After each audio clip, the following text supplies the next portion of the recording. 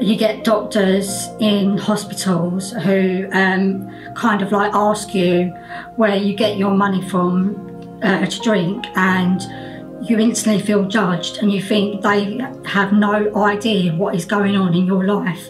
And they're judging you as being like oh this person's on benefits they're, they're spending all their benefit money on alcohol and then they're coming to us in crisis. But you've got to understand there's a reason behind that person's drinking.